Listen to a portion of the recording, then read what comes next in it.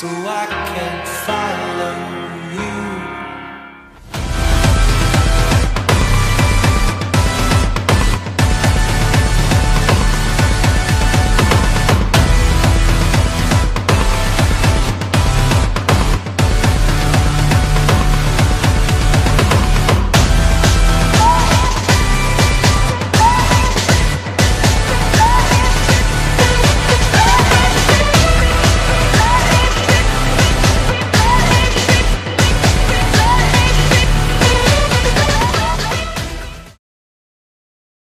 What are you looking forward to this year?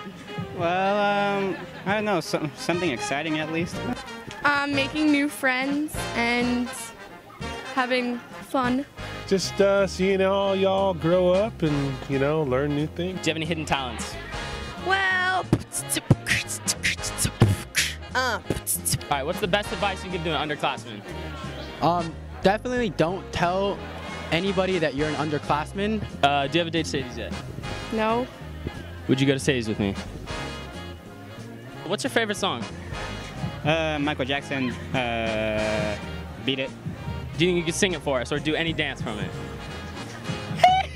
I don't know my favorite song.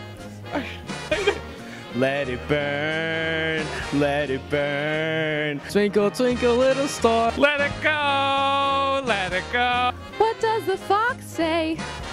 Ding, ding, ding, ding. You are my sunshine, my only sunshine. On the chandelier, on the chandelier. Is this one?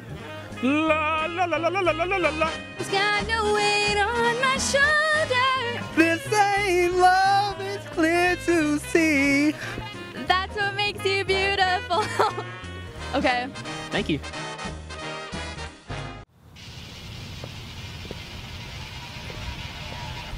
Good morning. Thank you so much for coming. Mr. President. Now, I need you guys to gather up all the athletes that we have here on Claremont High School campus. Sounds good?